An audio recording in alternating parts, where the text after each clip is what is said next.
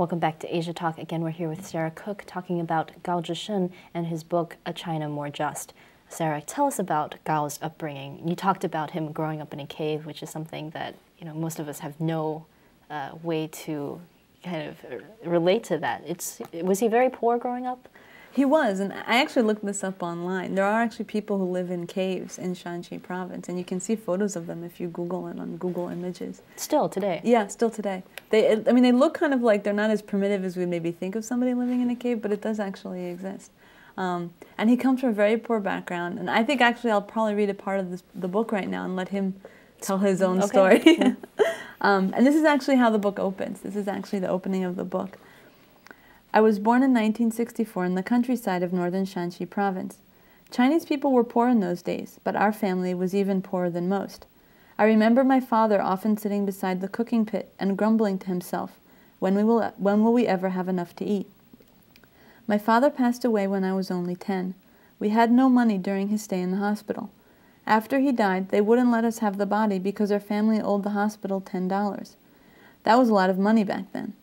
But we were fortunate in that my school teacher's older brother, who was a local party secretary, helped by agreeing to be our guarantor to the hospital. In the end, we were able to take my father's body home. From then on, our family had nothing. So that's a pretty, uh, pretty sober, pretty, uh, pretty harsh life sounds like. Yeah, I mean, for me, as somebody who grew up, you know, middle class America, it's very humbling to see the background that he came from. I mean, there were seven kids, and from a very young age, he had to go out and work. And one of the things he talks about, one of the passages I thought I'd also read, is where he's actually talking about working in a coal mine, which is something that most, I certainly have never done, and that when you think about later on the cases that he's taken defending people who are in coal mines or helping their families, you kind of understand where that came from. Um, when I turned 15, my brother and I got part-time jobs working as coal miners at the Huangling coal mine in Shanxi. Now, whenever I learn of a coal mine accident, it reminds me of the conditions we once worked under. Society today pays attention when mining accidents occur and urges the employers to do something. But in those days, such accidents were usually just dismissed. The death of a human being back then was considered about as important as the death of an ant as, as someone who's spent a lot of time studying, one of the things that's really incredible, and he talks about the difficulties he had to go through just to go to school. Mm -hmm. His mom would stay up all night because they, nobody in the village, not just them, but nobody in the village had a clock. And so she would stay up and pay, you know, know the time based on the stars. So she would get up a few times in the middle of the night to wake him up at like four o'clock in the morning so he could get to school in time. Um, and on cloudy nights, he says that she didn't sleep at all because you couldn't really see the stars all that clearly. Uh, and he, it's just incredible. I mean, he'd spend three hours a day. He says he's walked something like 6,000 miles in his three years of middle school, just going back and forth to school every day. That is quite an amazing story and kind of shows the, the perseverance that he had to go through. Now, how did he become a lawyer? How did he go from you know, working in a coal mine to practicing law? Um, that's one of my favorite parts of the book, I have to say, because he talks about how he was selling vegetables on the street, streets of Xinjiang in northwestern China and I guess what they used to do is that instead of using, because they didn't have plastic bags, they'd wrap the vegetables in newspaper. And so somebody threw aside one of the pieces of newspaper because they didn't need it. And there was an advertisement there that China was looking to train 150,000 lawyers. This was around 1980 or so, a little in the mid 80s. So it was mm -hmm. very soon after Mao had died. And it was the beginning of the opening up and kind of the reform era that a lot of people call. Um, and he basically saw and was like, you know what, I'll teach myself law.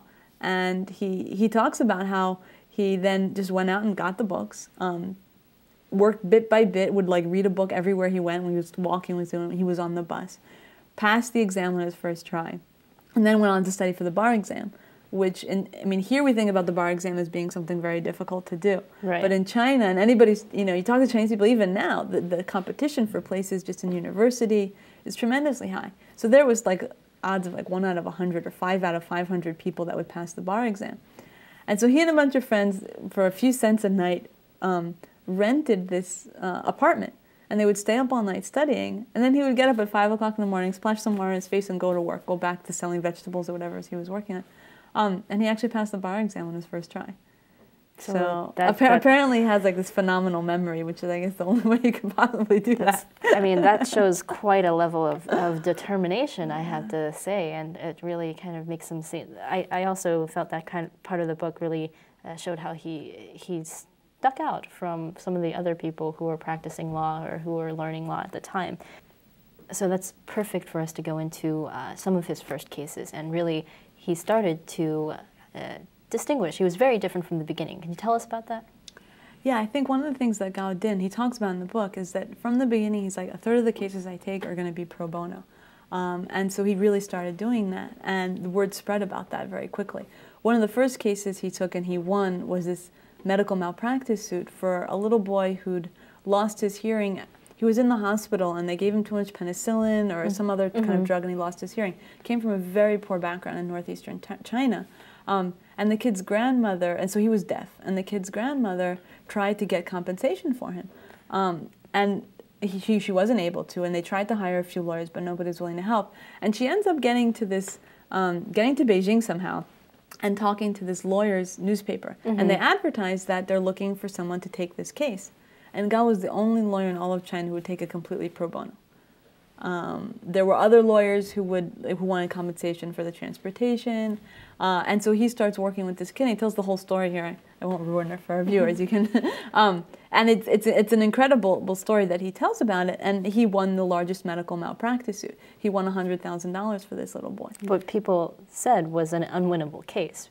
Yeah, I mean, it was basically that at some point the hospital was like, we'd rather pay a million dollars to our lawyers to beat you than give you a million dollars of compensation. That's that's quite. Uh, And that's, I mean, that's one of the things that Gao expresses a lot of frustration. And that's part of his frustration at the system. And he was actually interviewed afterwards by some media in China, and they report on it quite a bit. So that's how he started becoming really known nationwide. Uh, and they, they would ask, and he would they would ask him what he thought about the case. And he was like, "Look, I'm in a, I won the case, so I'm, I think I'm in a position to comment." And he really expressed his frustration about, well, why was anybody helping this kid to begin with? Why did he have to take six or nine years of litigation to get this? Why was the at some point the first lawyer that the boy had switched sides, and was then helping the hospital and was up against Gao Zhisheng. Um, so it's like, why did that happen? What does this say about our system, about um, the legal system itself and the corruption of, of, of the endemic corruption everywhere? So, so you, you really see his frustration at that. Um, and, and with the national media exposure came more and more people turning to him, asking them for help. Um, people coming from across the country looking for the lawyer Gao Zhisheng. Uh, and at some point in 2001, the Ministry of Justice held this like legal debate competition. And Gao actually came out one of the top 10 lawyers in China. And so that was also aired on television. And um, everybody started to know the name Gao Zhisheng. So that seems quite uh, to be a high point in his career. And he talks about uh, one of the things in the book is he talks about how people would come and find him somehow, even though they would be like, oh, you know, uh, I just know that the name of the lawyer and I just know the province where he's from, but no other information. And he, they would still find him for his cases. So that really, uh, I think, shows to me how much he stood out in that in that environment. But Yeah, I mean, you saw him as being, he was somebody who would, was generous and a lawyer who was really standing on principle and justice was very important to him and he would help anybody. It was completely, and that you see that later on as he moves on, is that any, even some of the most, you know, the most persecuted groups in China, he'll, he'll help them because he thinks everybody, you know, has a right to equality before the law. Um, and there, there is that story that you mentioned where he gets a phone call one day because there's some banner in the middle of Urumqi in Xinjiang that's asking for lawyer Gao Zhisheng because his family came looking for him. So It's quite it's quite an amazing story, and uh, we'll leave the rest for people to read in the book. But when we come back from this break, we're going to talk about uh, kind of a pivotal moment in, in Gao's life and how he went from this high of being this uh, lawyer that was you know recognized by the Ministry of Justice to being uh, persecuted himself and his family. So stay tuned. We'll be right back with Asia Talk.